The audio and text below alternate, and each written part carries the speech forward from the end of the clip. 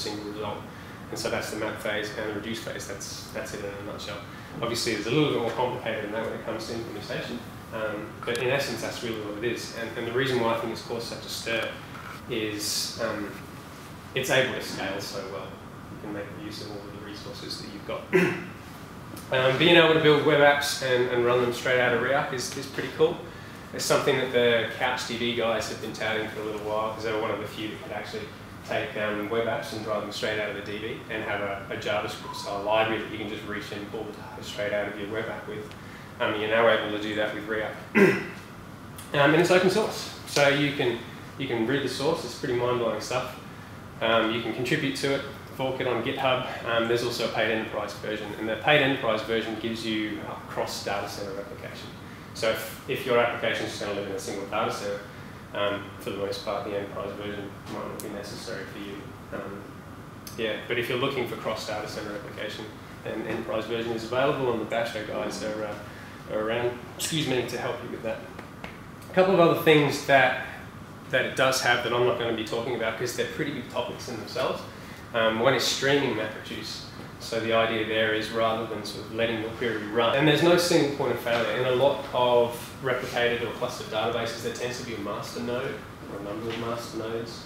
And if you lose one of them or any of them, um, or all of them, you know, the whole, the whole lot's gone regardless of what your non-master nodes behave like. Um, in Riak, that's not the case. Every single node has equal say. So you should be able to pull out any node. Um, You'll often see though in tutorials people refer to the master node, and I think that's just a poor use of, of words. They should probably just say the first node that I spun up and the one that I kind of interact with more than anything else. Um, so, but there is no no master node, um, and obviously that's pretty powerful as well because it does give you a little bit more tolerance than you would expect elsewhere. Um, adding and uh, removing nodes is really really easy and it's it's very quick. Obviously, depending on the amount of data that, that you've got in your database, you know, having one node sort of ramp up and taking its share of the load might take a little bit of time. That's the case, I think, in any system.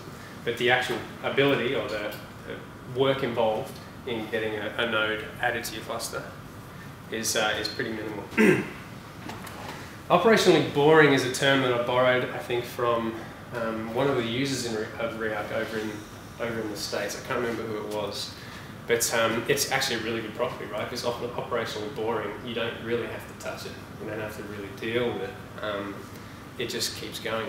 And even when nodes are failing, particularly if you run on the likes of EC2, if anyone's running on EC2, you'll know what I'm talking about. If um, your nodes are, are, constantly dying, until you, you sort of hit a real critical mass where a large percentage of your nodes are dead, this node's gone down, this node's gone down, and they say, oh, how, how many nodes, or has this one gone down, or whatever. No, okay, well, call me in the morning and go back to the yeah. Whereas you won't get that in many other situations, which is, which is very nice. so depending on what your configuration is, what your application needs are, um, quite a few nodes can die before you get no response out of your route cluster. Um, uh, this is something that I, I kind of coined as like a perfect metastorm of perfect storms is required to really bring the thing down in production. So uh, it's, it's got the ability to hot code load which is something you, you, I won't say you get for free with Erlang OTP applications, but it's, it's something that Erlang OTP sort of promotes, is the ability to upgrade your software without actually having to bring it offline. Um, and I, I really like that idea. I'm, I'm, surprised that in 2011, particularly as someone who earns a lot of money in, the, in .NET, I'm constantly stopping services and shutting down IIS and uploading more code and starting again. And everyone in the same boat, or is that just me? Yeah, same boat it just seems a bit odd. I mean, Erlang's been around since the early 80s and has the ability to just hot code load and you don't have to bring your cluster down. So um, yeah, that's, that's a really, really nice feature and kind of proof of the pudding. Um, Kresten Krab put this up on Twitter recently. Hot, hot updated Riak backend while running at full steam. So um, I think this guy's got a fair bit of traffic and behind the scenes he's using Riak and uh, completely updated Riak into version 14 or 0.4 um, without actually having to bring the system down. So that's, that's pretty impressive in my view. That's kind of thing that makes me excited anyway. And Kresten Krab, um, Thorup, who is a doctor, I should say, um, he's spent a lot of his time in the Java world and, and recently built something called Erjang, which is like a, an Erlang version that runs on the JVM. Uh, it's a pretty impressive piece of kit. In some, some cases, it actually outperforms the Erlang VM. Not all, but in some. So that's a, I think you won, won the Erlang User of the Year award last year. A very, very switched on chap. right. A little bit on, uh, on how Riak works. so the design. Design is based on Amazon's Dynamo. So anyone familiar with Dynamo? Heard the term? No? Yep. Um, it's a pretty in-depth uh, PDF white paper. Um, I'm not going to pretend that I understand it. There's bits that I understand, and I need to read it a few more times, I think, for it to sink in. But it's, it's about um, being able to configure the read and write parameters of your, of your system depending on what your system needs to do. So if your system's read heavy, you need to configure it so that it's fast for reads. If it's write heavy, you configure it so it's faster for writes, that kind of stuff. So that's what I mean by the, uh, the tunable NRM, uh, sorry, NRW. These, these links, by the way, I'm not going to click on, but I put them here because when the slides go online, you'll just be able to click on them and, and download and have a look at what I'm talking about. Um, the NRW values, which we see quite a few in quite a few areas, not just in, uh, in the Riak space, but any sort of Dynamo-driven, excuse me, database. So N, N refers to the number of replicas, or the number of nodes that are in your cluster. Um, that's what the data is going to be replicated across. R is the number of nodes in which you want to have respond with a successful read for you to consider the overall read to be successful. So if you query a Riak cluster and you want to get some data out of it, you want to know that the data you're getting is, is fine. So behind the scenes, um, the R value is saying we've got you know, so many nodes. Of those nodes, I want to get successful responses out of these um, this number before I consider that to be a successful read. Um, and the same with W, but that's for writes. Yeah, okay. Um, there's a little bit of, of math around. It's not, not rocket science, but um, the idea behind having these, it gives you an idea of how much of your cluster will fail before reads and writes actually start to fail. Okay?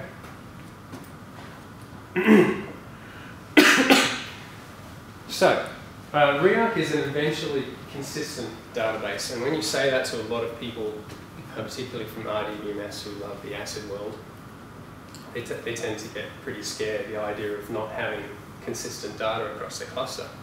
Um, so when I say eventually consistent, what, I mean is it, it focuses on the, the A and the P of the CAP theorem. The CAP theorem is something that Eric Brewer came up with um, around distributed fault tolerant systems, and it's got three properties. C stands for consistency, so that's about um, when you read and write data, you've got sort of some consistent global state across your cluster. Um, a is for availability, so you want to be able to read or you want to be able to write um, how, how much it's going to be there for you to do that. And partition tolerance, which is really fault tolerance, saying, you know, if I bring down nodes or the network dies, can it heal itself? Can it, can it get back up without you having to deal with it too much? So in the case of Riak, it focuses more on the A and the P and not so much on the C. So that means that yes, maybe in rare circumstances you can get stale data when you're querying, but this is where your read parameters come in. Um, you know, if you're getting stale data from one node and not from another, then it'll sort of rejig the work and try and fix itself up on the fly for you. Excuse me. So just to see where, where it sits with respect to other DBs, is that clear? Can you see that? Is it possible to, to turn the lights down just a little bit, please, Charlotte? Thank you. Um, I stole this slide off a, a, blog by a chap called Nathan Hurst, so thanks Nathan. Um, I, I, like this because it kind of gives you an overview of where a lot of the NoSQL and, and even the RDBMS stores live with respect to the, the CAP theorem. So you can see our consistency and availability world over here, this is where RDBMSs tend to sit. Um, partition tolerance isn't something they're renowned for, let's be fair. Um, so a lot of the RDBMS is sitting there. the, I think the, the hot databases at the moment that people seem to be talking a lot about are things like MongoDB, um, MongoDB, Redis, Voldemort, uh, Riak, CouchDB, Cassandra, as a document-oriented database, but confirmed with, uh, with some guys from Basho, and it's not, it's actually a key value store that can be used as a document-oriented um, store. So yeah, that's where it lives. So mm -hmm. yeah, cache, that's eventual consistency. So we, we kind of don't have a problem using a cache. It makes sense to speed things up, no issues, but yet we are eventually consistent. We could possibly have stale data when we read from our cache. It's exactly the same thing. Um, in all likelihood, the consistency attributes of Riak are still really fast that you probably won't notice a difference until things start breaking, until nodes start going down. Um, and they start to heal themselves. That's where you'll see consistency starting to, to waver a little bit. But for the most part, it's rock solid and you, you won't even know a difference. Not that I've got a massive system in production, but I certainly haven't noticed the difference either. Now, uh, key value stores, well, maybe, maybe Riak in particular, but I think key value stores in general um, have this idea of, excuse me, of, uh, of keys which identify the value of that is storing. In Riak's case, you have an idea of a bucket as well. And a bucket kind of correlates to what we know as a table in a relational database. It's not strictly true, um, but a lot of people, I think, come from RDBMS worlds will look at buckets as, as a table, and um, that seems to make a lot of sense for people. But you can can use them for, for other things too. You may decide to put of any ad hoc data in the same bucket. It doesn't really matter. What it really is is more of a logical grouping um, data for whatever your application needs happen to be. So yeah, think tables and primary keys, but it's not really what they are. Um, Riak has this notion of, of links. Now links, links are metadata associated with a value in Riak. And that basically says I'm, I'm pointing to some other entity in my cluster. Um, and you can kind of see these as foreign keys, but they don't give you referential integrity. They're literally there so you can say, oh, I know that there's supposed to be something else that I can reference over here. It may actually not be there, but you have this ability of maintaining uh, maintaining links across your entity so you don't actually have to do things like create um, composite keys to try and figure out where other data is. You know, you know what I mean by that? I'm being a bit vague. So if you have an identifier for, say, person, and, uh, and you want to get um, an attribute of that person that might be they have a, a wallet. They've got a wallet, and that wallet's stored in the database as well. And you know the identifier of the wallet, and you know the identifier of the person. You kind of combine the two together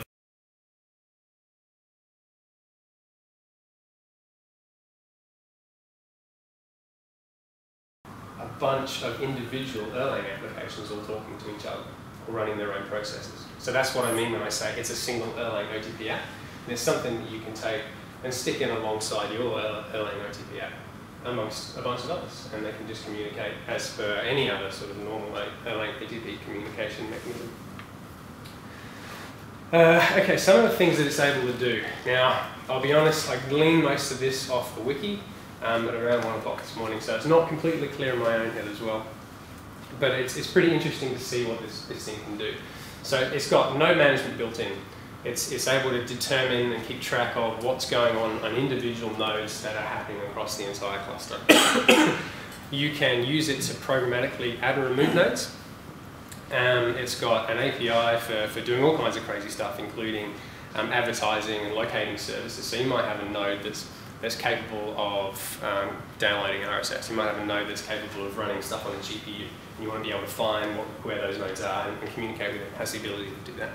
And it's got this, um, this idea of a gossip protocol, which it uses to talk across all the nodes in the cluster. And uh, it generates events based on all kinds of node activity so that these things can stay in sync. Partitioning work distribution. Excuse me. Um, so this, this first point is, is very buzzwordy to me. I don't exactly fully understand what that means. But uh, I think in, in essence, it's, um, it has this, this notion of a master and a bunch of worker processes that are responsible for doing certain things. And that's how it orchestrates the activity that's going on on a given node. Um, the idea of consistent hashing does come up a little bit, and we'll talk about that, I think, in a few slides' time. Consistent hashing is, is something that's done um, to, it, it's a hashing mechanism, which allows you to come up with a, value to index into a, into a hash table. But the idea of consistent hashing is something that um, it allows you to change the number of holes in your hash table without having the hash table rejig of data as a result of the changes. It's quite, quite cool and way too difficult for me to understand. Um, as I said, it's got an API for advertising locating, I don't know whether that's in there again. Uh, deals with hinted handoff. Um, hinted handoff, again, we'll come to this I think a little bit later.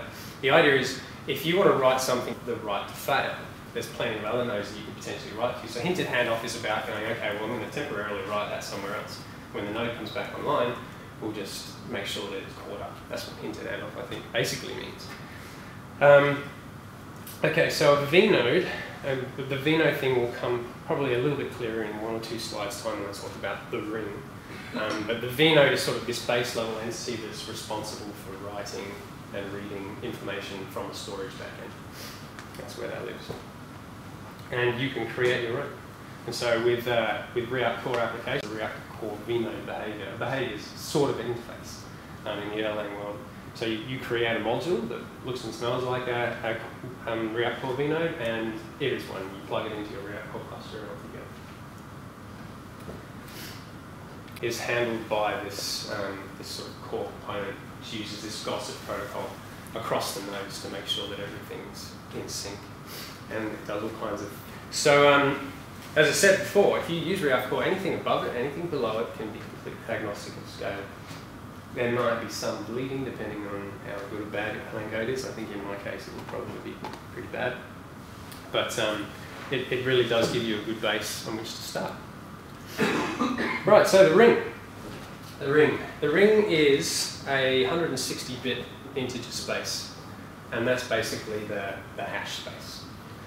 And so this ring um, is divided into a number of partitions, and that partitions vary depending on how many nodes you have, what your, your parameters happen to be. So virtual nodes, as I said, V nodes are virtual nodes. What they do is they claim a partition of the ring. They, they claim one block inside your hash table. Okay?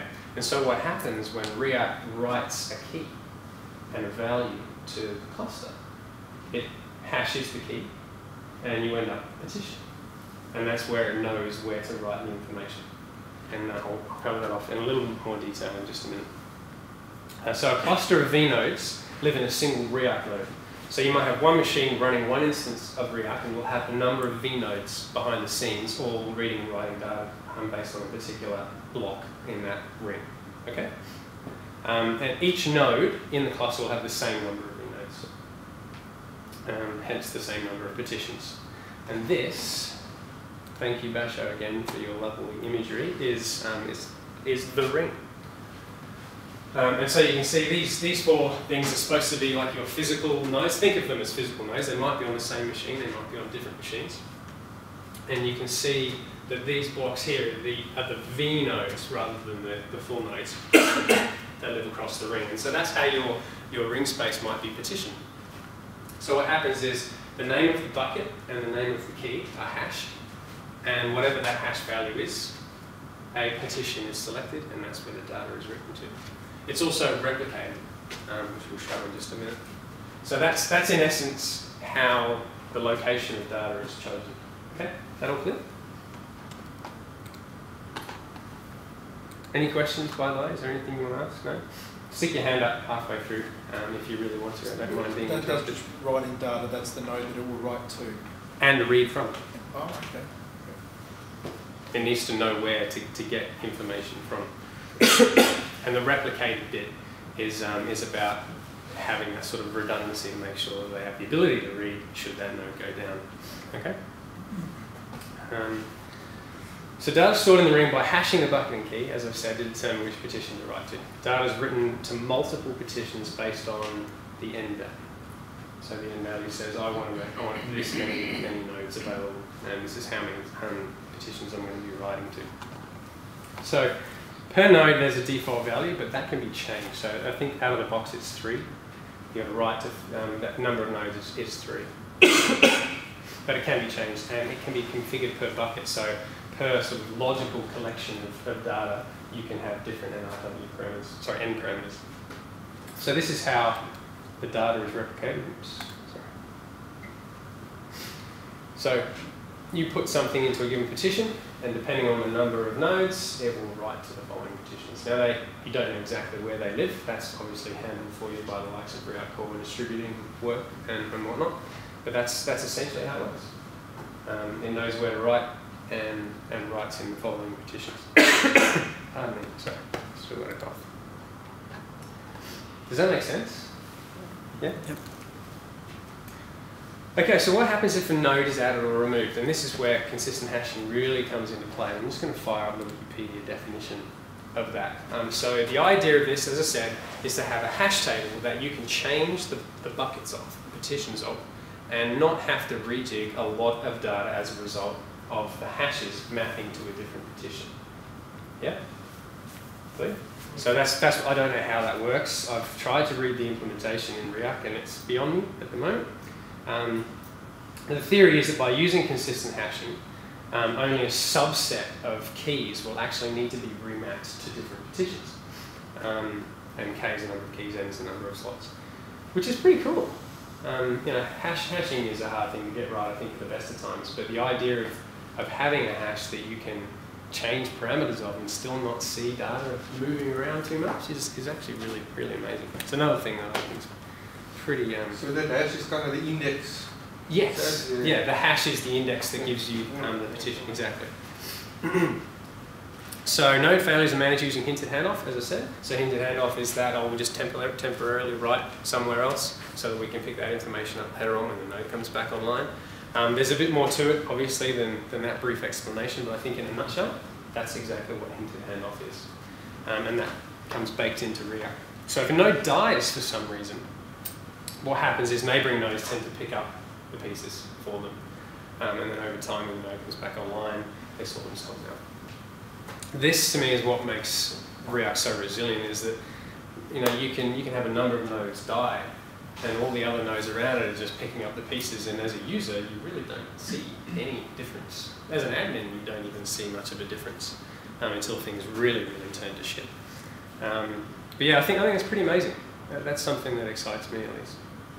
So ring state and bucket properties, along with the changes, are all propagated by this gossip protocol. That's what's keeping things in sync, and I've kind of reiterated that a few times, but um, it's, it's a pretty key thing. This little protocol, it's, it's really chatty, hence, hence the gossip protocol. The idea is just to make sure that everything knows what's going on and whether they need to update, copy some data or take, take some MapReduce workload on or, whatever it happens to be.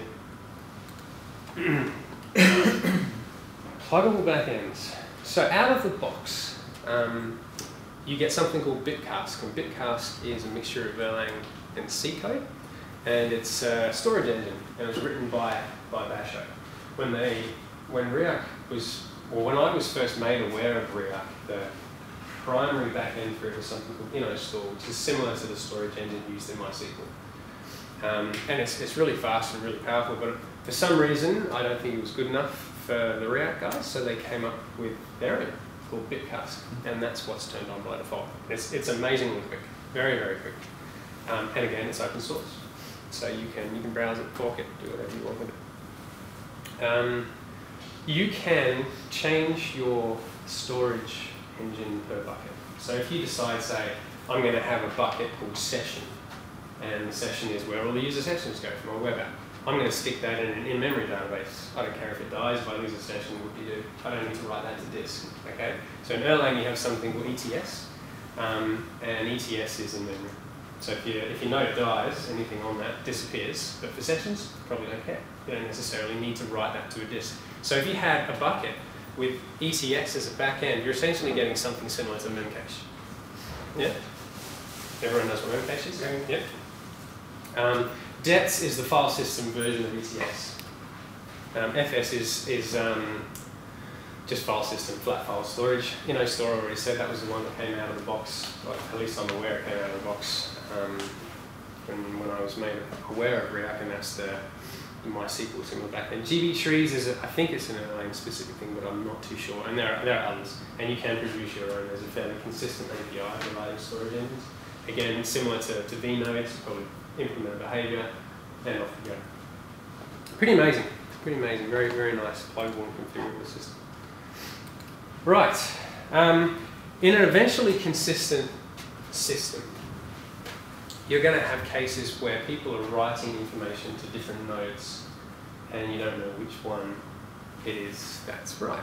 So um, I might be arranging to do a presentation for Bolt.net and I'm talk to Liam about it and um, Steve's spoken to Matt about it. Okay, so am I presenting or is Matt presenting? You don't really know. That's the kind of problem that you're going to face when you're writing to different bits of information across a, a system like this. And so vector clocks are all about trying to manage that to determine which bit of information is the most current. And it's there not only to try and do automated repairs, but also to give you the ability to determine it yourself and perhaps function in a different manner. So I think usually what will happen is the latest vector clock's going to win. Um, it's like last write wins, basically. But you can handle that um, in your own way if you want to. You know, if, uh, if Steve has more authority than Liam, regardless of his vector clock, he's going to want to write whatever it is that, that's, um, that he decides.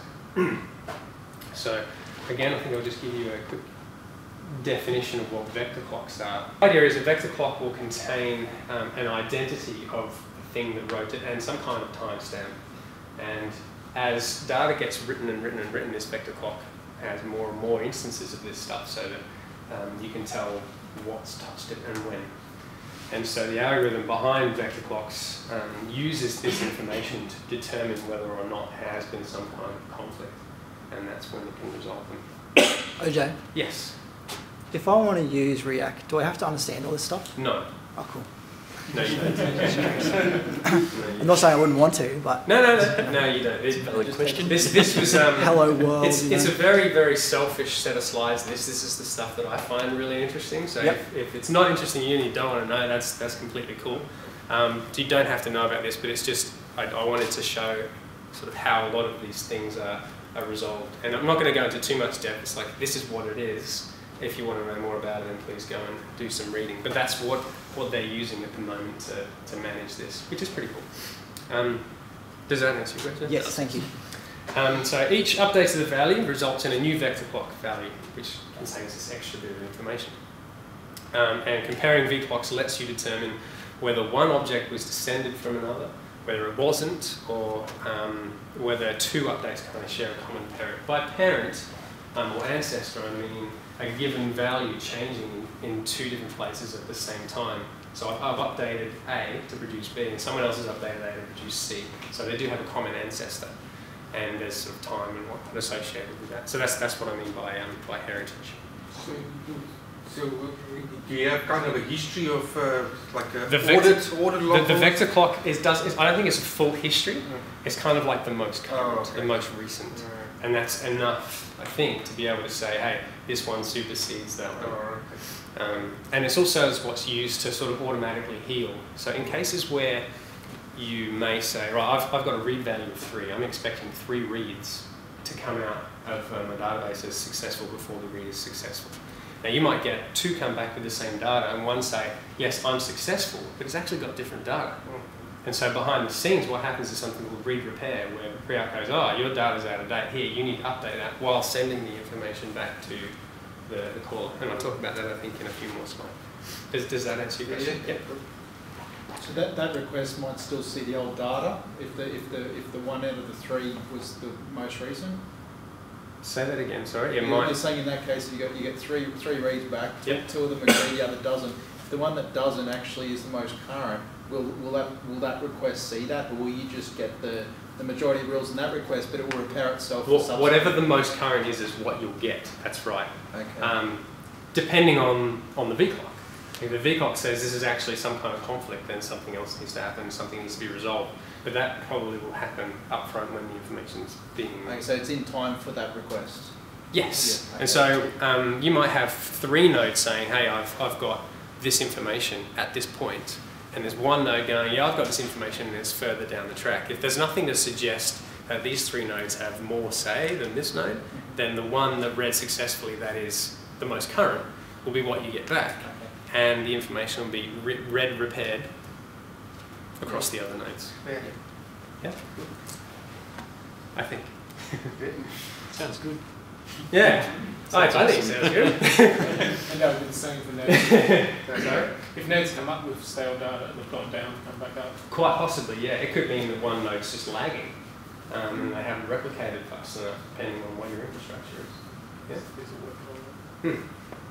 When you're talking about uh, the parents or whatever that it knows where it came Yeah. from, does that mean that when you're dealing with it in your client application, you actually have some sort of identifier to say where it read from? You can you can look at the um, VTag yourself and deal with it, but in most situations, it'll be done for you. You won't even know. So if you write something, it knows Yes, because when you write, a red font? when, let's say you, you read some information, we'll see this a little bit later on, you read some information, you get the, the V clock with it. Oh, you get the V clock. You get the V clock with it. So when you write back, you're saying, this is the V clock that I'm updating, and that's how it's able to track. Okay. Okay, more information about vector clocks. There's two really good blog posts there by, again, Basho, the guys that, uh, that did this. And there's a vector clocks wiki entry which kind of dives a little deeper. So if you're interested in this, follow those links. They're really, um, really interesting. If you're able to understand large amounts of jargon, then go to the Wikipedia entry. Um, that's pretty enlightening for those people that can understand it. But those, those blog posts are really good. Uh, so, my, my view, what do they do? They help keep, keep shit in sync and help us figure out when shit places and when. Simple. It's simple because someone else has written it for me. Read repair. So as I said, when, um, when you're asking for a number of reads to happen and you might get a clash, read repair is something that happens automatic, automatically. So you might find that a node is returning that it hasn't found that data and so um, Riak will say, well, you should have that data, here it is. Uh, and again, if the V are out of whack, again, there'll be some kind of auto healing going on there as well. so the word, the word quorum appears a little bit in, um, in the world of Riak. And it wasn't until I think you know, late yesterday that I bothered to really figure out what it means. And it's pretty simple. Um, so quorum refers to the quantity of nodes that must respond for a success, for a read or a write to be successful. When I read that, I thought, geez, I should have read that a while ago. That would have cleared a lot of things up for me. Um, but it's ultimately a symbolic quantity for uh, an item that's calculated via this little formula. Um, and the default value of that is, uh, is 3. So um, it's, it's a really simple buzzword. Um, and that's really what it is. So saying if the quorum was met, so if the number of nodes that were supposed to respond responded, but data was different and we got different results, then read repair happens to try and get the information back in sync again. Do you ever get any um, model errors where the most up-to-date one was down for some reason, Mm-hmm. and the two that were left over were out of date, they didn't know about it, and the quorum said, yes, that's okay. A- right. absolutely, you will get the stale data then. Okay, and Yeah. what happens when it goes to repair itself? When it goes to repair itself and the note comes back online, um, what will happen, I don't know whether it happens immediately or whether it happens when the next read occurs, um, but it will, when the next read occurs, try and heal itself across those, those nodes. The more interesting thing would, would be, let's say that node that had the latest information died and someone wrote information Well, that's what I'm thinking, you, you read to then, and then you then you've obviously back. got a, a conflict there. And so by default, the, the mechanism for healing that problem is, well, the last one wins. And so the, the very latest one. But you have the ability to, to manage this behavior. And it is a way of finding out, because one guy wrote something. Yeah, exactly. Somebody wrote back. And, and if you think about it like too, You lost my data. yeah, it, it does look like that. It does look exactly like that. We think that in a real world sense, what would you do? Uh, how would you, how would you Well, I'm not just thinking. uh, No, no, no, I how, know. How the system would work, but Hmm. then I just wanted to prove to the guy that there was a system failure. Yes, yes, Because I can identify that yes, there was a system. That's right, there is- there, and not my application that's screwed up. Exactly, and I think the, the killer detail there is that you're able to identify that That's something as has long as can happened. identify Yeah, that. and you can, yeah. you can do that. Cool. Is that, is that right? Yes, sir. Uh, so my question is, you, you can, you, you can, in that sense, you can, you can plug in your own, Yes. um, Handling. mechanism of how to handle that, yeah. Okay, so that's what read repair is. Okay, um, how am I doing for time? Uh, we got heaps of time, so Oh, go as long as you like, really. Yeah, Excuse me. it's about ten ten seven. Right, so um, here's stuff that's probably going to be a little more interesting to people who just want to use it. Um, I'm going to give most of the examples, probably all of the examples using the RESTful API, using client-specific APIs is a little counterintuitive, I think, for demonstrations. And with the RESTful API, we can really see everything that's going on because I'll just be making requests using curl. So this, this is the format of, uh, of what your Riak URI is when dealing with reading and writing information. HTTP or how you have it configured, it's got a host and a port, and then slash Riak is hard-coded. Um, and the reason for that is because the root level URI actually has meaning. There's a map reduce URI for where you actually run your queries on, for example. There's statistics and, and various other things. So when dealing with your data, it's slash Riak. Followed by bucket, followed by key. Now, just briefly, the idea of a bucket existing um, is is not really right in the sense that a table may exist in a relational database. Like up front, you create a relational database table and you define some keys and various other things. In, in your app, you might have the idea of a bucket, but if there's no data written to that bucket in Riak, the bucket doesn't exist. Until you write the data, that's when the bucket then exists. Okay? And the key is obviously the, the key. Now the key, you can have Riak generated for you, or you can write your own. okay, so the REST API, as I said, is handled by something called Web Machine. Web Machine was again written by Basho, and what it is, it's like a, a toolkit for writing really well-behaved RESTful web applications. Um, and it's, again, it's a very, very nice piece of software. And so when you deal with Riak, you're dealing with, um, you know, HTTP, puts and posts and deletes and gets. So what you do when you're writing information to Riak and you know what you, you want that key to be, you, put it you put it to your URI. If you don't know what that key is, or you just want Riak to generate it for you, you post it to the bucket. And the information you get back in the response says, this is the URI the thing that I've written. So you can then use that, obviously, to query Riak after. And deleting, again, rather self-explanatory, and I'm not going to demonstrate that. To the soldiers bucket with the identifier of Blackadder. Um, given that this is a RESTful API and that the key value store itself is agnostic of um, what you store, still has the notion of content type because content type allows you to do certain things depending on what the content type is.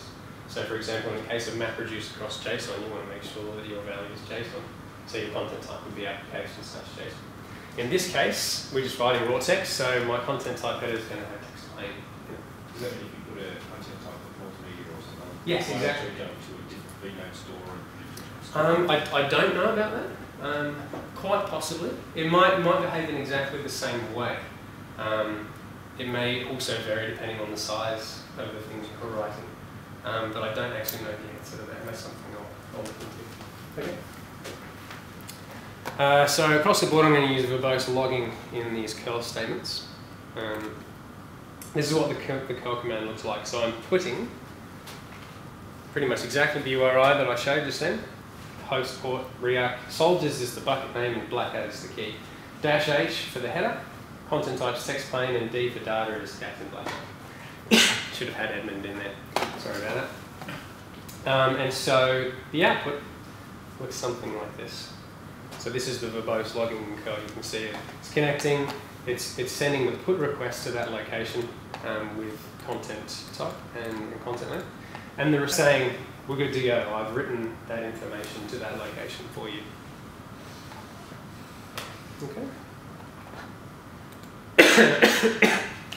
Posts, um, very similar. The only difference really is that you have a post um, rather than a put, and you don't specify the key at the end of your URI. Again, text plain. Uh, command looks pretty similar, and the response is a little bit different. So here we're posting to Riak soldiers, and um, the response we get is 201 created. So the entity's been created, and a location is returned, which is the URI that allows you to get access to the data that you've just written. Okay.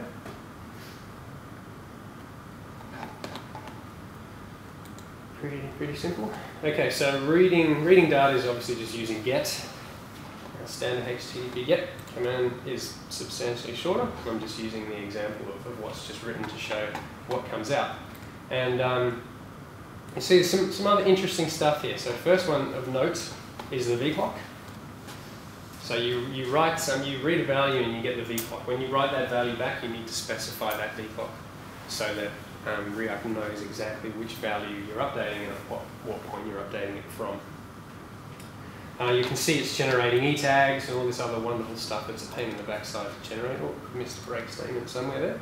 And you can see down the bottom here is the data that we, that's the body of the response, is the data that we wrote. So one thing um, I want to highlight here is this, this idea of links. So this is what a, a link header looks like when you pull it out of Riak, and that's what we're going to look at in just a minute. So the idea here is it's saying that this particular entity belongs in this bucket, belongs in this um, URI of soldiers. Okay? Any questions? Are there any higher level libraries for the client? Yes, yes, there are, and I will list those um, in a later slide if that's cool. Yeah, thanks. So, so what is the typical stuff? Obviously, you don't just put strings in it. You know, No. what do you put there? JSON or whatever. You need, you need what do you Anything. typically put in there? I'm going to cover some of that off as well. Okay. Okay, so if I don't do a good enough, a good enough job of answering that in Yeah. coming slides, then please hit me again. Okay, Alright. thank you. Oliver? Yes. If you uh, issue the get command again, would the E tag be the same? Yes. Yes, it would. Unless behind the scenes someone's updated that, Yeah. then you'll get a different intact, yes. Okay, so as I said earlier on, uh, links let us form this sort of loose relationships between entities. They're not true foreign keys and they give you referential, integrity, they're a, a reference to other information. The cool thing about this is that you can actually walk links and you can walk links using the RESTful API. Um, you can find what data is connected to what. So for example, if we had um, Blackadder and we have Lieutenant George, and Blackadder is Lieutenant George's superior. Um, Lieutenant George is in turn superior to Private Baldrick. Um, what we would want to do to actually establish this relationship is write a link header when we're creating our entities. So the link header takes this form, Riak again, bucket and key. So it's, it's just a URI of the thing that it's related to. And it's got this Riak tag here, which is just an identifier that says kind of what that link means. Okay, and that's completely up to you what it is you want to use. You might say, um, I'll, I'll show you an example and it will make a little bit more sense. Command for the three puts that I've just explained. Um, so I'm, I'm putting each of these entities here, and you can see here that um, I've got this header, header here. So what I'm saying is that George is Captain Blackadder's underling, for example. Now note how I'm creating this reference that George doesn't yet exist. So this is, this is what I'm saying, it's not actual referential integrity, it's a reference somewhere else. So even if that thing doesn't exist, updates to an object happen. So it does, it does get bigger, but there are facilities to manage its size. But here you can see is the, um, the, the link tags that I'm talking about. Um, we're pointing to George, who is an underling, and the built-in one, which is pointing to the bucket that it belongs to, with e tags and whatnot. And there's our content. So, OJ, you talked about being able to walk that Yep. through through the, the link tags you supply. Separate get requests every time. There's no. No. I'll just click the next slide. There's button. one over there. it's like I placed you in the Played. Thank you, Steve. Thank Keep you, Steve. trying. Very good question. I'm very glad you asked. Um, so link walking, in, in the RESTful interface at least, you can literally whack the link walk that you want to do on the end of the URI.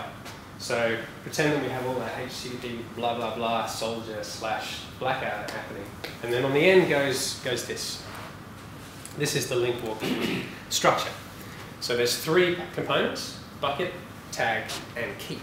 Um, keep is a is a flag that says, as I'm doing my link walks, the data that's associated with the entities I'm walking across, I do or do not want to have returned. So Steve, that keep flag for you, if you want to, let's say you're walking down four links, um, for each one of those steps you can say, I want that info, I don't want that info, I do want this info. And what you'll get is a multi-part MIME response with all of the detail in it, which you'll see in just a moment. Um, the tag is the name of the tag, of the link, um, and the bucket is the bucket in which this thing was in. And these things are kind of mutually exclusive, except for keep. Um, keep is more of a sundry thing, but bucket, bucket and tag don't have to be tied together. So you might say, I want um, anything associated with this object that has this tag. You might, want to, might say, I want anything that's linked to this bucket. Or you might want to say, I only want things that have both this bucket and this tag. So the tag might be um, underling, and underling tags can exist in the soldiers bucket and they can exist in the um, enterprise information technology department bucket. And obviously they're the same tag, but they kind of have different meanings. So if you want to make sure that you're looking at soldier underlings, then obviously you put bucket um, as soldier and underling as the tag. You can put underscores for each of those parameters, which gives you some defaults. Underscores um, in bucket means giving any bucket, doesn't matter what bucket it's in. Underscores for tags, again, doesn't matter what the tag is. And um, if you specify underscore, underscore for key, that just means I'm not interested in the information. It's the same as having zero for the key flag. Okay, so I'm, I'm going to get out of this and just show you this in the console because um, not showing it in the console was too painful copying and pasting um, stuff. Now, is that, can you all see that? I need to make it a bit bigger. Be good. Sorry. Where? Change settings. Terminal appearance.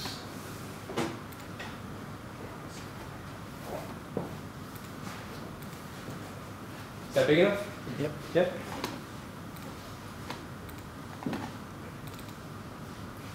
Okay. Clear? Okay, okay, excellent. Right, so um, I've already loaded the, the data in um, into our cluster, so hopefully this stuff should just work out of the box. So demo one um, looks like this. Now I'll just show you what the request is. So here we can say we're getting get soldiers Blackadder. Okay, so what this is is I'm getting Blackadder without any link walking. I just want Captain Blackadder as he currently stands. As you can see, I get Captain Devon Blackadder. Nothing too special. That's exactly the same as what we've seen already. So demo two is slightly different. So what I'm doing here is I'm saying, please give me, um, uh, where are we? Like I don't know, link walking. Did I just run the same demo again? Yeah, scroll too far. Oh, I scrolled too far. Uh, idiot. Where are we? Yes, we did. Here we go. So I'm saying, please give me all of Blackadder's underlings and return me the data. So what we can see here is we've got this um, multi-part mixed response, and we can see that Lieutenant George is the underling. So you could have had more than one under I could have had more than one underling, and I'm going to show you a little bit um, again in a minute because these guys also have capabilities, and I'll show you how you can actually you'll get multiple values back out. So that's just a single value relationship. In the case of three, which okay, so what I'm saying is I want to see all of the wit that Blackadder has, including the content, and so there's multiple responses here. So as we can see, he's got a one-liner, which which is this. I'm, I'm a bit of a Blackadder fan, in case it's not not noticeable, but that's that's a, a quip that I absolutely love out of um, out of one of the Blackadder Goes Forth episodes. Um, and here's the other one, which is a two-liner, and there's the phrase there. I don't know how they come up with this stuff, but it cracks me up almost every time. So, okay, you're not defining the bucket in those requests? Yes, we are. Oh, sorry, no, I'm just referencing the tag. That's, that's all I'm interested in is the tag. You'll see, I think I've got a, an example where I'm just using the bucket. Okay? So that's like if I had um, relationships pointing to other buckets, then they would also appear in this. If I wanted to limit it to, to, to just wit, then I need to specify So wit. you could a bucket for each season and then get from particular Yes, season. exactly, exactly right. Okay, I think I've got another tonight. Um, hmm. Okay, so get the fears of the underlings of Blackadder's underlings. So we know that Blackadder has an underling of George. George's underling is Baldrick. and Baldrick has fears. Um, and so our request uh, is this Blackadder. I want his underling, but I don't want the data to come back with it. I want his underling, but I don't want his data to come back. What I want is his fears. Okay, and give me the data for that. So that will respond with um, with two things. First one is a link to an equipment store. Oh, sorry, um, this is the entity that's been that's returned. So he's got a fear of wit. Bald- Baldrick has a fear of wit, and the content of that whip, for example, is a sharp tongue. So that's what that's what wit is. It's pretty cheesy, I know. So Baldrick is scared of sharp tongues, and he's also scared of sticks, which are brown and sticky. So that's an inspiration. At the end of um, the, the very final episode of Blackadder, where, where George is about to walk out and go over the top. Have You guys seen this? No. And um, he walks out, and Blackadder says, Lieutenant George, you forgot your stick. And he said, Ah, thanks for reminding me. I, I would hate to face a barrage of German guns without this. So that's, that's why I thought I'd put that in there. And I think there's one, one more. What this time? So here we go. I'm, I'm going through now and I'm saying, I'm navigating the same tree to the wit, but now I want all the instances of wit that that person is afraid of. So you can see I'm going underling, underling, fear, wit, and I'm, I want the wit entry. So here I'm specifying the bucket just to show that I only would want the wit specific stuff. So give me the entries, all of the entries in the wit bucket, um, and give me their content. So I end up getting back the um, personally I thought you were the least convincing, and, and the other one, where are we? That's not anything around here that's very small indeed. Uh, and I think that's it. Okay, so clear? It's quite quite powerful how you can just constantly add different um, link walks onto the end, and you end up getting your content back. Um, does that answer your question, Steve? Yeah. If those links uh, don't exist, Yeah. does it just ignore them and let it go, or does it tell you that they? Let's find out. Um,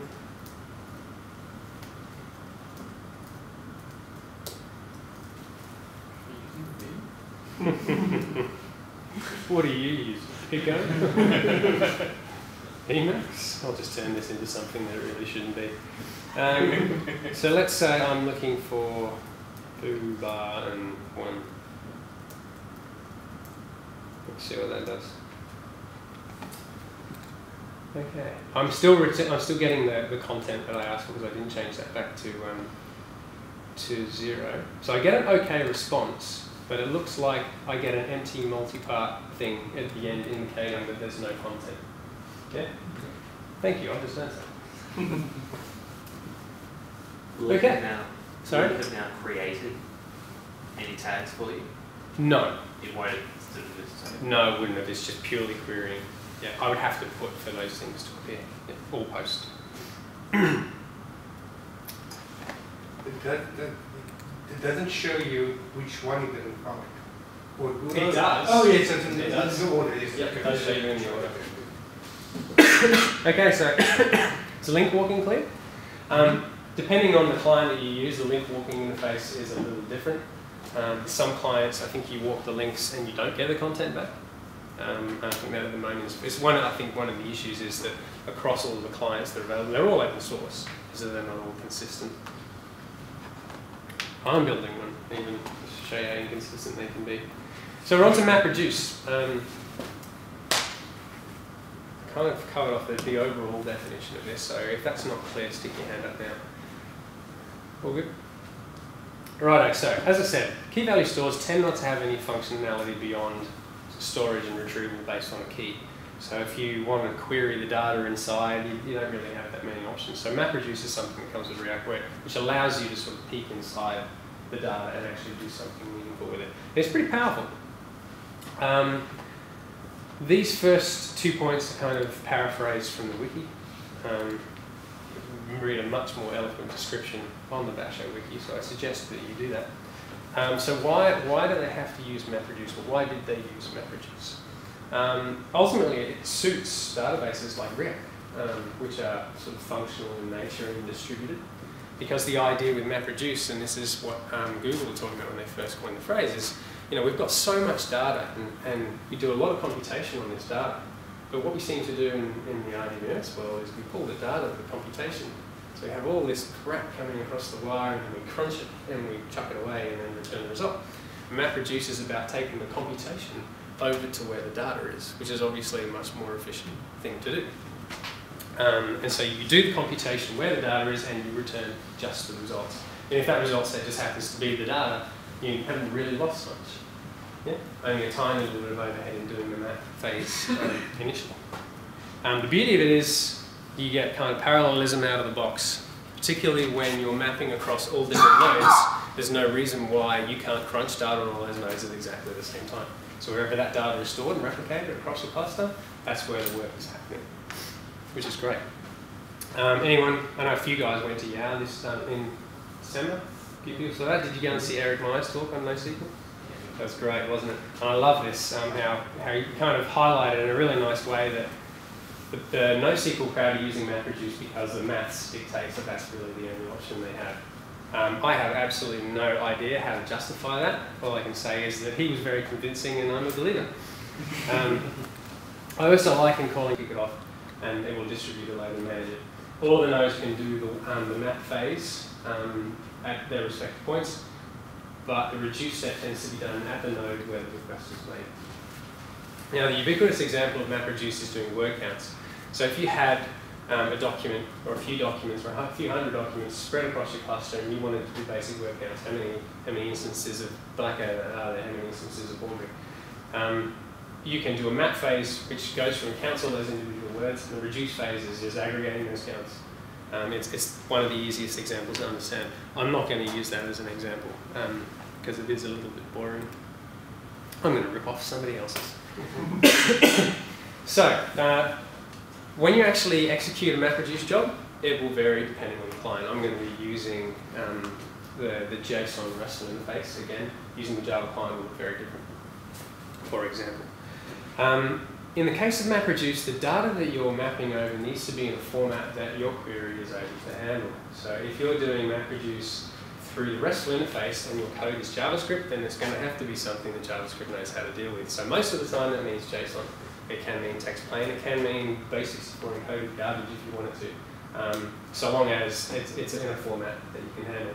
So for example, if, if I was storing data out of my Erlang application, I could write Erlang binaries, and I can do Erlang MapReduce over those binaries, but doing a JavaScript MapReduce over an Erlang binary might be a little bit painful. But I'd highly recommend that you don't do that. Um, if you do do that, open source it because that'd be great to read. Excuse me. So um, in this case, we'll be, we'll be using JSON data. So when you do MapReduce queries, you're posting to the MapReduce MapRed um, URI in your cluster. So that's where that sort of slash riak goes away and slash MapReduce comes back in.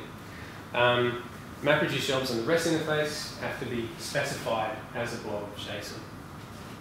Um, and this is, this is the form that it takes. You have a set of inputs, you have a definition of a query, and you have a timeout. Um, there is a default timeout of 60 seconds for a MapReduce query.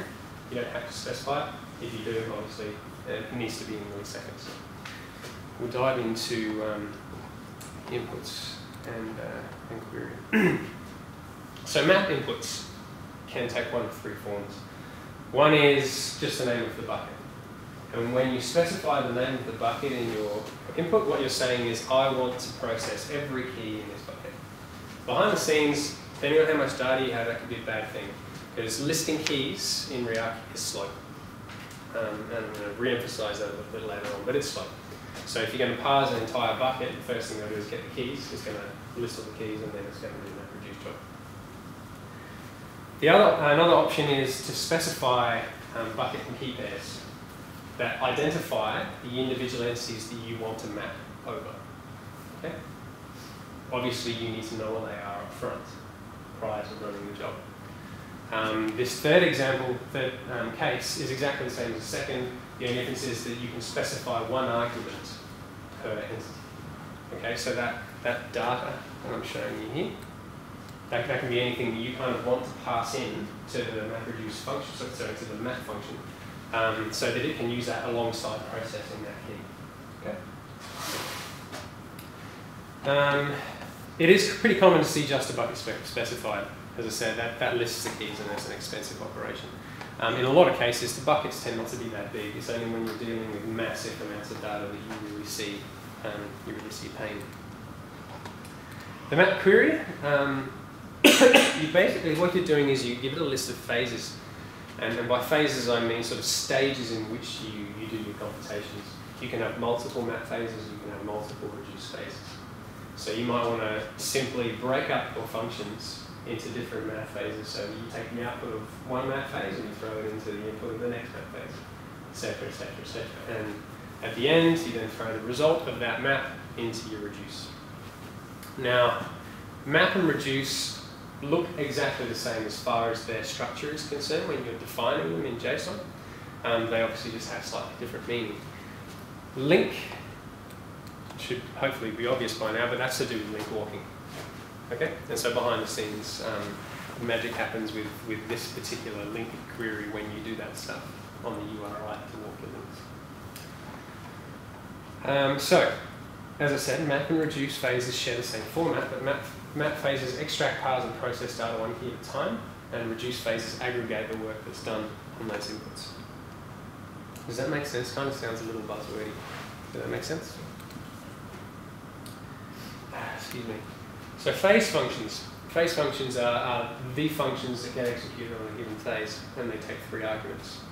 Um, the value that has been pulled out of the, the store based on the input that you gave. So if you specify the name of the bucket for your input, it would be um, the, the first value that was extracted based on um, the first entry in the list of keys that were extracted from that bucket.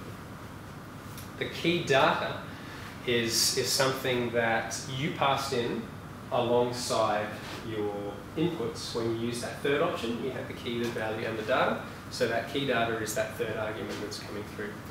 arg is a static argument that's used across the whole phase. So one of the inputs that you specify when you do your map um, is the third, third or fourth parameter is a hard-coded argument. So you might have like a mini data set or a blob of JSON or just, just some kind of reference information that you want to pass along with the query and that's exactly what arg is. So that will be the same for every single instance of that function execution during the, the phase.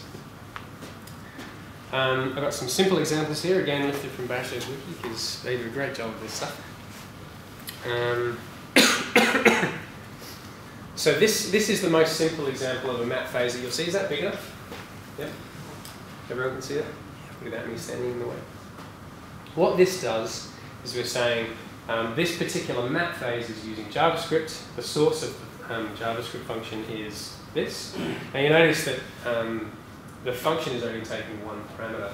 And those people who are seasoned JavaScripters will know that that's okay, and the, the last two parameters are just ignored. Um, so you can have, have the function just take one parameter, and the, the parameter that's passed in first is the value, and that's the one we're really interested in. So here we're just returning the value.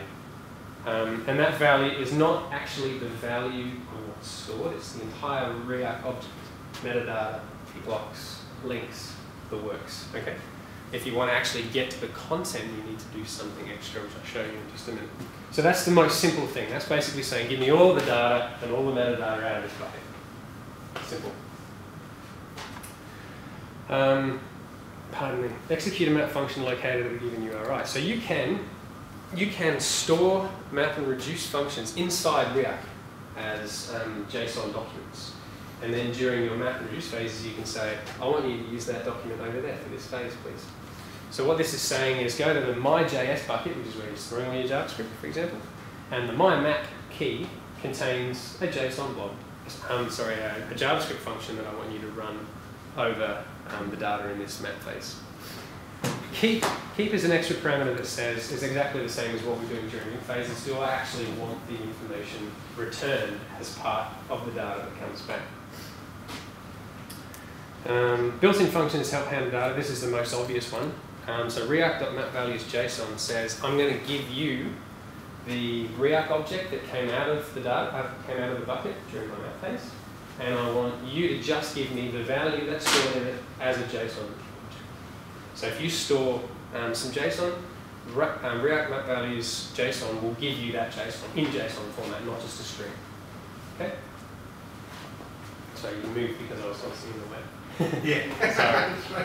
I have a habit of doing that. Um, it can also call Erlang module functions as well. It's kind of beyond the scope of that. It's just nice to know that you can do. You just specify the module and the function, and off it goes, as long as it exists. Okay, so I'm going to duck back to the console um, for the young demo. Um, I'm going to thank Sean Cribbs for this. Um, I assume he was the one that created it, he's the one that presented it online. Um, and it's just a nice way of showing some of the options instead of me coming up with more cheesy things like the Blackadder option. I decided to go with something that's a little more tried and true. So what this contains is a set of data on Google Stocks. Um, and these stocks have already been pushed into this Riak cluster. So I'm running just a two node Riak cluster because my VM is running like a dog and the third node is kind of bringing it to its knees. Um, so I'm running two node Riak cluster and all of the, the Google stock information that I need for this demo is currently stored in it. Now these JSON documents contain the, the MapReduce um, queries that I want to run. And I'll show you what they are. They're actually part of the output when I run these demos. So, simply echo all the values that we find. Now this might take a while, um, so I may, I may cancel it. But this is essentially doing what that very first um, example does, um, only it's doing the Riak map values JSON at the same time. You can see it's really very slow. Um, so what you will, you will end up getting is, is just a, there you go, massive JavaScript array, JSON array, and you can see, see the values that come out. Date, open, high, low, close, volume, blah, blah, blah. There's one entry there. So we get the full listing of the data that came out of the bucket. Um, it might actually be slow because the number of nodes that I've got are different to the number of uh, the N value that I've got specified. So that might be causing some problems. Anyway, so as you can see, the query that was run here, I said I want to go over the Google bucket, Goog, and my query has one map phase, which is JavaScript, and all I want you to do for that value is give me the JSON that comes out of it. Yeah, makes sense? Pretty simple. I don't think the other queries are as slow as that, so sorry. Here we go. So here I'm getting the maximum high sell value I'm getting. Sean's getting the maximum high sell value for the first week of January. So you can see that's pretty quick. So what I'm saying is give me all of the entries um, in January that I'm interested in and run this function which basically says get the, the JSON document out, pardon me, and return the highest value. And there's a reduce function. Pretty lacking. Sorry, one play. Sorry. welcome, Jack. Um, return return the highs, and then in the reduce phase here you can see that um, we're just calling reduce max. Now reduce max is actually a, a built-in Riak function. You basically give it a set of data, and it will find the maximum value in a set. Sorry, I've been doing that a lot, standing in the way. Um, that that one's pretty simple. Makes sense. Yeah. Again, that data dot high, is that also, per month. So go across um, the months and look at the maximum values for each of the months and then return a set which contains those values. Um, this is obviously going to take a little bit of time. I think this goes across the entire bucket as well. Um, yes, it does. So yeah, it's a bit, bit more of a complicated query. This is why I wanted to show it. Um, this stuff should all look pretty boilerplate by now. Um, function key, key data array. Again, pull the JSON content out first into the variable called data. And then we're just going to pull the month out um, based on whatever the identifier or the key of that particular value is. That's just doing a little substring pulling bits out. Um, and then what we're doing is we've got a JSON object and we store the value of the month and, sorry, in, inside the value for the month, we return um, the high for that particular month. And then we return that object. And then that means that for each one of those entities, we can, we can use the month as a key into multiple objects to do our reduce, as we can see here. So when we go values.reduce, we've got this callback function, which is the accumulator and the item.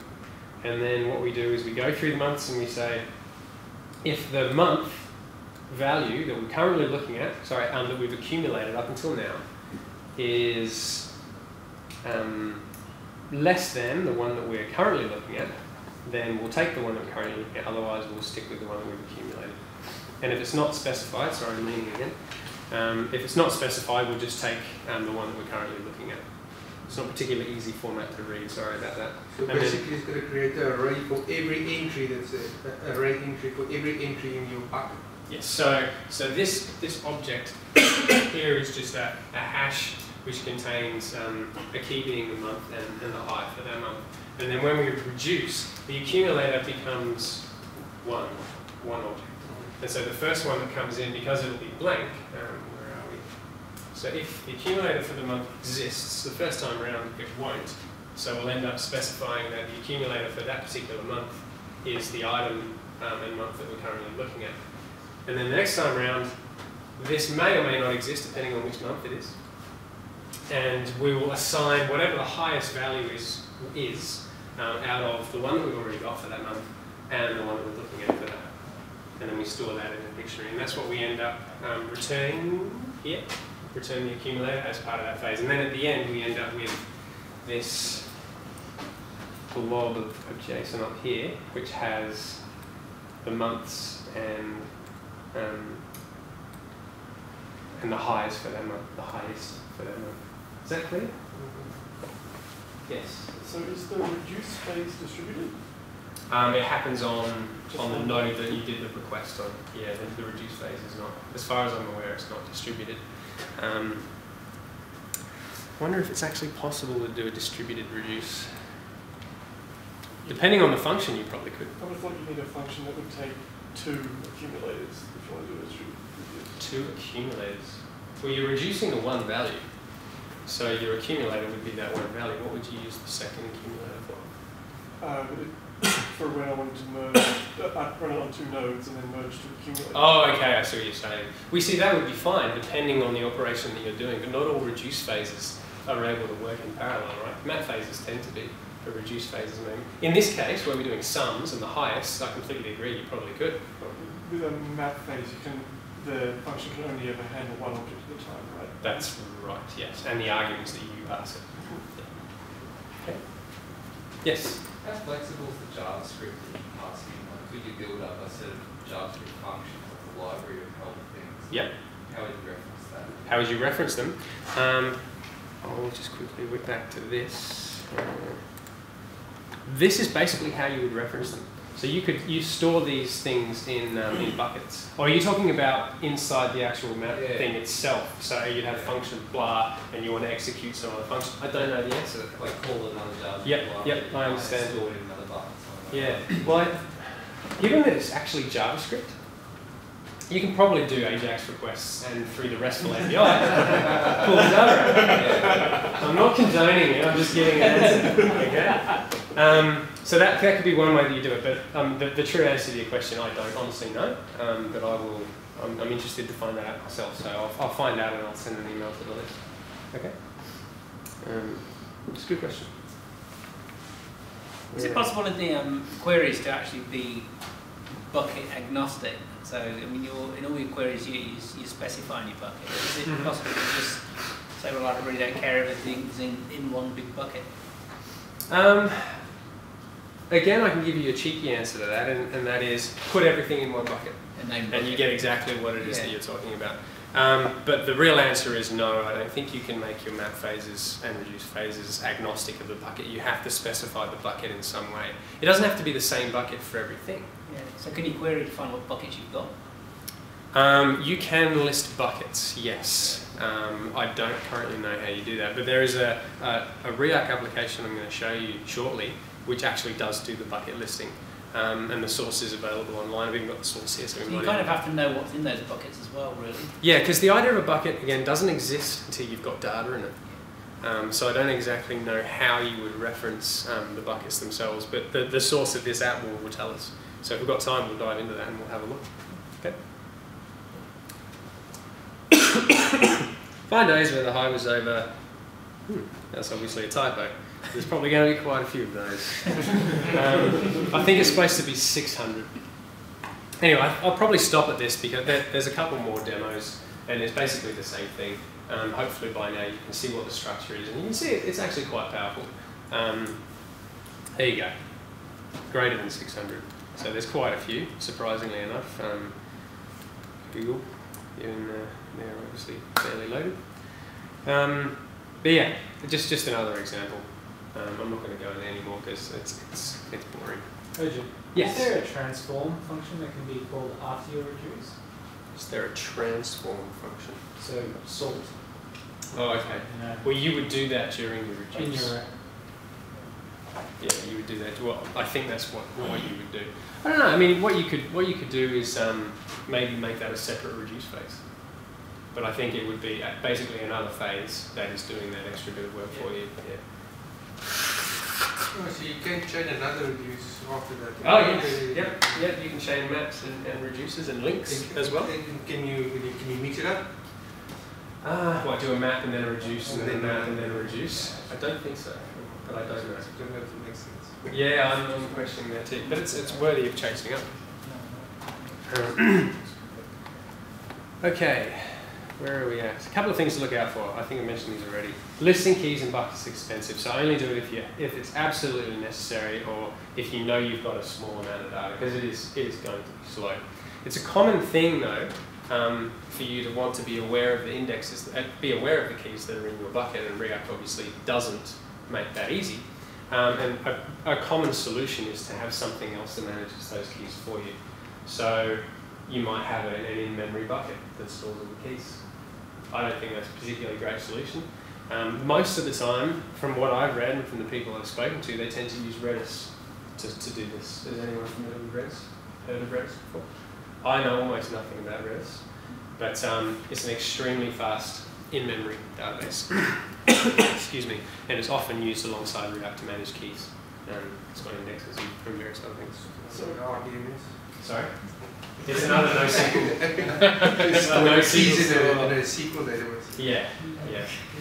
Go for it, go for it. You can knock yourself. So, if you, if you're doing um, a map that's going to use every thing in a bucket, it's still cheaper to supply a list of keys? Yes, I think so. Because the first thing it needs to do is find what keys are there. If you already know them, then it doesn't need to search for keys. It doesn't need to pull the keys out before doing the map phase. Okay.